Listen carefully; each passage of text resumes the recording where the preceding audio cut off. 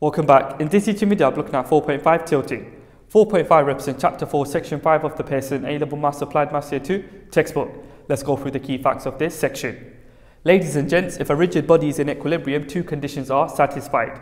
Condition number one, resultant force vertically is equal to zero. Condition number two, sum of clockwise moment is equal sum of anti-clockwise moment. The moment of a force is given by force multiplied by the perpendicular distance.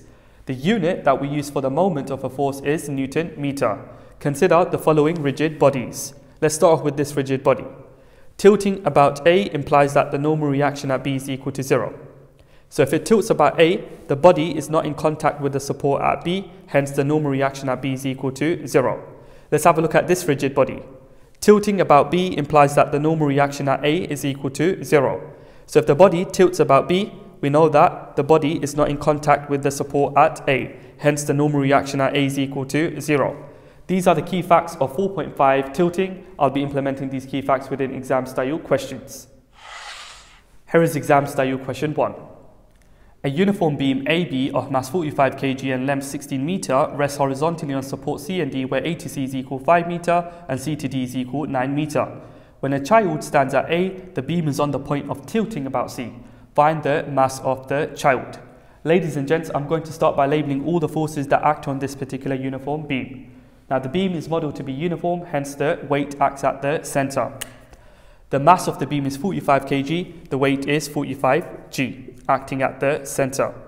Now this weight 45 g is going to split the entire distance 16 meter into two equal parts. 16 divided by 2 is 8. So we've got 8 meter this way and we've got 8 meter this way. The distance A to C is given to be 5 meter. So the distance from the support C to the center of mass is going to be 8 take away 5, which is 3 meter. The distance D to B is given to be 2 meter. So the distance from the support D to the center of mass is going to be 8 take away 2, which is 6 meter.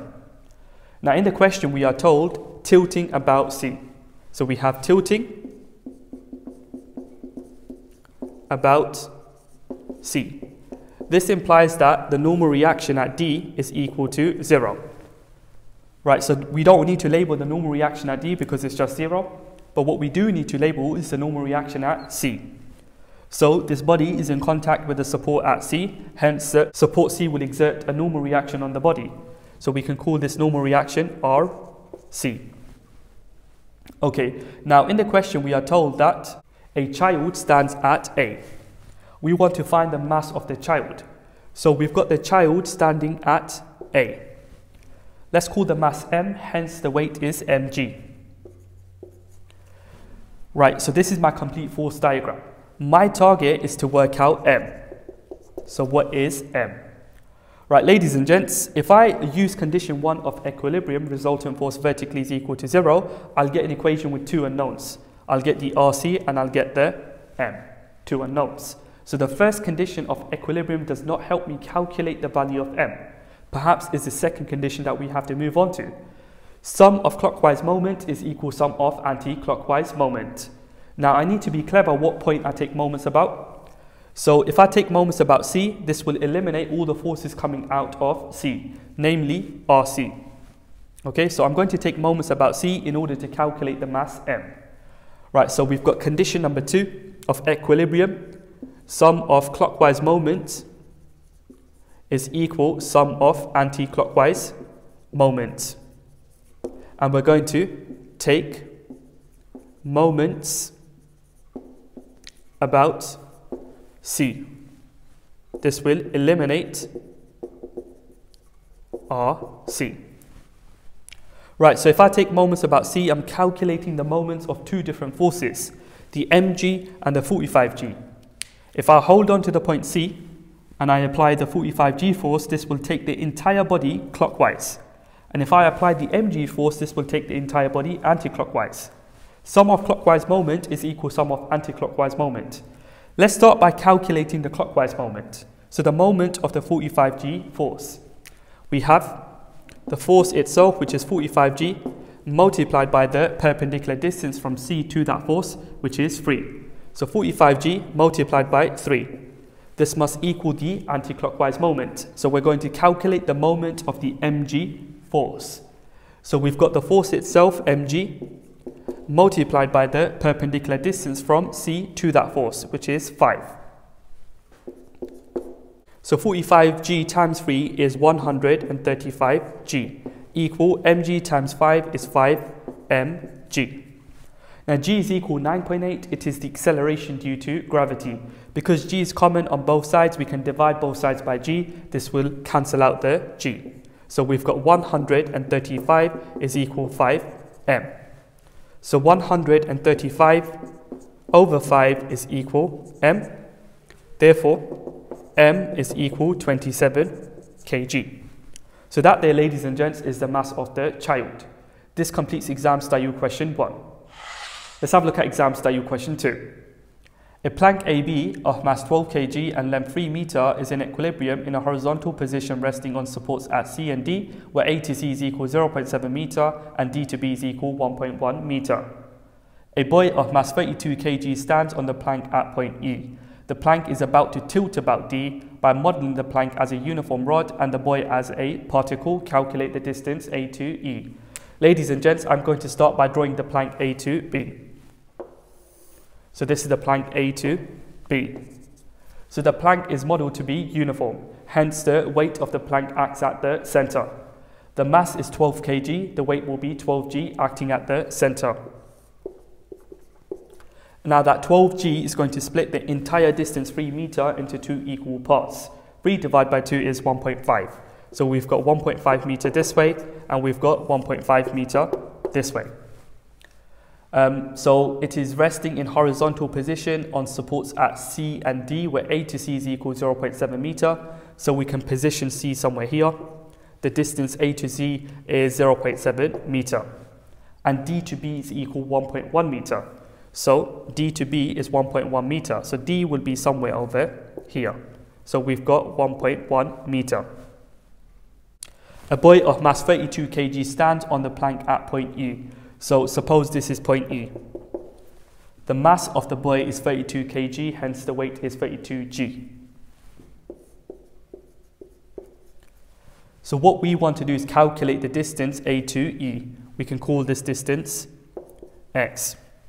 Now in the question, we've got tilting about D. So if it's tilting about D, the body is not in contact with the support at C. Hence the normal reaction at C is equal to zero. So we've got tilting about D, this implies that the normal reaction at C is equal 0. So we don't label the normal reaction at C, but we must label the normal reaction at D because the body is still in contact with the support at D. So that normal reaction, we can call it RD. Now, the distance from A to RD will be 3 meter, take away 1.1 meter, which is 1.9 meter. So this distance over here from A to the point D is 1.9 meter. Okay, so this is my complete force diagram. My target is to work out X. Firstly, I've got the unknown RD. I'm going to calculate RD by using condition number one of equilibrium. Resultant force vertically is equal to zero. So I'm going to resolve vertically, taking upwards to be the positive direction. The resultant force F is equal to zero. So ladies and gents, I've got RD minus 32G minus 12G.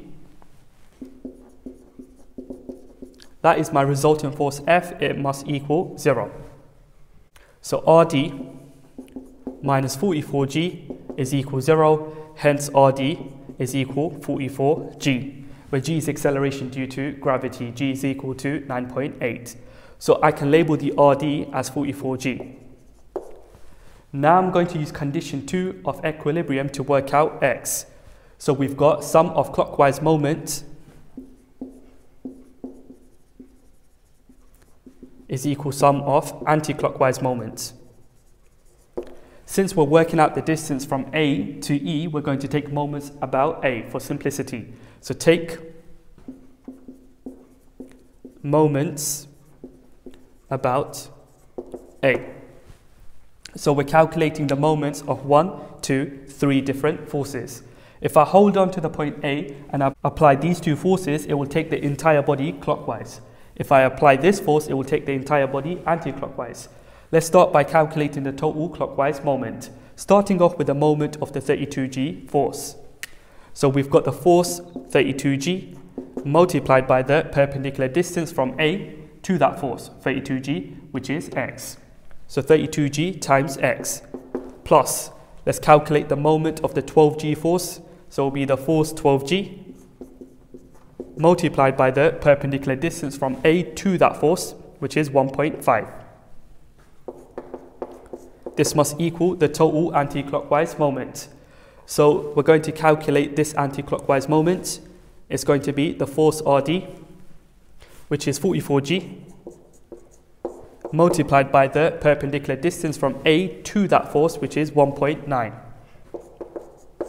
Right, so I've got an equation involving x I can solve for x.